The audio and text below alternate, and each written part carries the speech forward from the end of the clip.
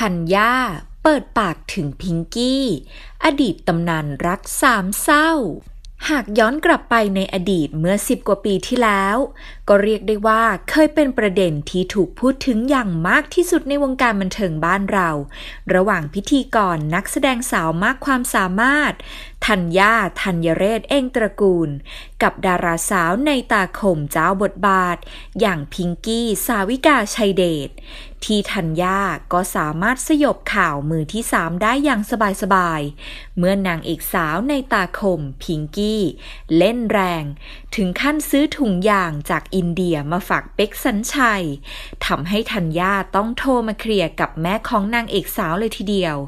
และบันทึกเสียงเรื่องราวสนทนานั้นไว้ทั้งหมด หรือแม้แต่บทสนทนาของตัวเธอกับสามีซึ่งในเวลาต่อมาเรื่องนี้ก็กลายเป็นมหากาบที่ยิ่งใหญ่ของวงการบันเทิงไปเพียงชั่วข้ามคืน หลังจากถูกมือดีปล่อยคลิปเสียงดังกล่าวออกมา แต่ในปัจจุบันก็เรียกได้ว่า เรื่องที่เกิดขึ้นนี้ได้จบลงเรียบร้อยแล้วค่ะ ซึ่งล่าสุดธัญญาก็ได้เปิดปากแล้วนะคะ ยอมรับว่าหดหูใจ หลังนางเอกดังพิงกี้สาวิกาต้องนอนอยู่ในเรือนจำมานานค่ะ โดยธัญญาได้ให้สัมภาษณ์ว่า ด้วยเหตุการณ์ทั้งหมดที่เกิดขึ้น เราฟอลโล่พี่เต้ซึ่งเป็นผู้จัดการส่วนตัวของพิงกี้อยู่แล้ว ก็มีเคยได้ร่วมงานกัน และเห็นพี่เต้เขาเขียนข้อความในวันเกิดด้วยค่ะ เราก็รู้ว่าในสถานการณ์กับคนใกล้ชิด ที่เจอเหตุการณ์อะไรแบบนี้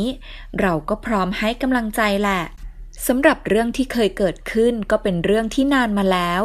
เราก็เคยได้ร่วมงานกันแล้วด้วย มีการขอโทษอะไรกันแล้ว ก็เลยเป็นเรื่องที่เราไม่ได้ติดใจ มันผ่านมาเป็นสิบกว่าปีแล้ว